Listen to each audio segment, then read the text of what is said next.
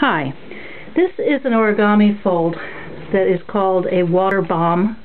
It's also one that um, you can turn into a full box, but the way I've learned it is a lot of in and out folds and it makes a kind of a base. And I've taken that and done the same thing to a piece of polyester organza.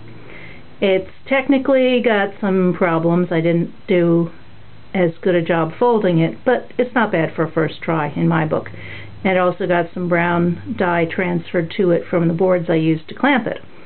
But when it's all done, you have a scarf or piece of fabric that is folded and will really stand on its own.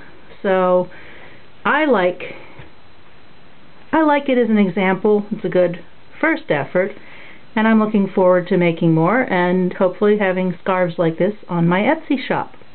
Thanks for looking.